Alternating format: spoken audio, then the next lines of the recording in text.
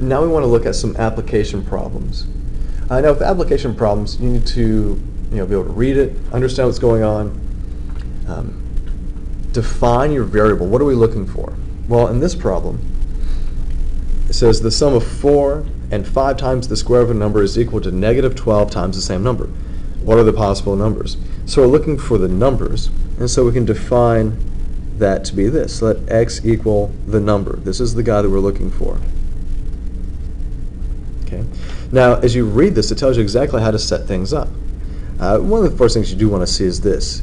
The is equal to tells you where your equal sign is going to go. So before the equal sign, we see this, the sum of 4 and 5 times the square of a number. The first math word that I see is sum. And when you see a word like sum, difference, product, and quotient, you want to look for the word and, and that's where that will go. I see the word and here, which is tied to the word sum. So that's where my plus goes. Well, what are the two things that I'm adding? Well, before I see the word and, I see the number 4. So I can write 4. After that is the expression 5 times the square of a number. So that just means 5 times the square of a number. Well, to say the square of a number is just going to be x squared. And I've got the equal to part, and this is going to equal negative 12 times the same number. So that means negative 12 times that same number, so the, the number we've already mentioned before is just x. That's the missing number, the unknown number. It's what we're looking for. Now notice this is a quadratic equation. So that means I need to get everything to one side. And when I do that, I also want to make sure that my terms are written in descending order. So when I do that, I have 5x squared. This comes over as a positive 12x. Here's my plus 4, and then this equals 0. We have a lot of different ways of trying to solve this equation. One of the first things you want to look for is SRP, the square root property. Is this set up so that we can use the square root property? That means, do I have my variable contained inside of a square? Well, this variable is a square, but I also have x as well, and that, that doesn't bode well for me. They have to all be contained within the square, so that doesn't apply.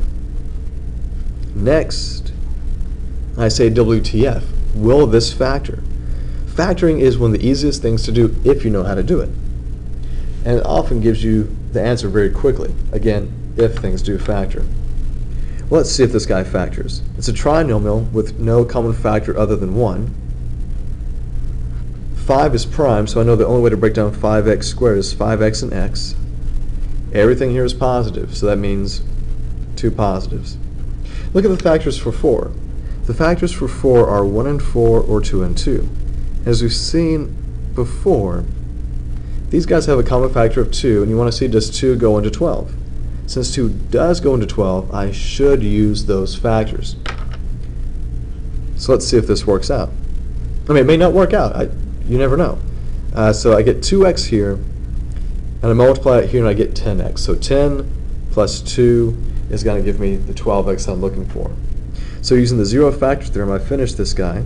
Solving for x, I get negative 2 fifths by subtracting the 2, dividing by 5. My other solution is x equals negative 2. So those are my solutions, and there's no real world problem that I have to really think about and concern myself with, like can I have positives, can I have negatives? It doesn't really matter. These guys are both just numbers. So we state our answer now, and we just say that the numbers are negative 2 fifths, and negative 2.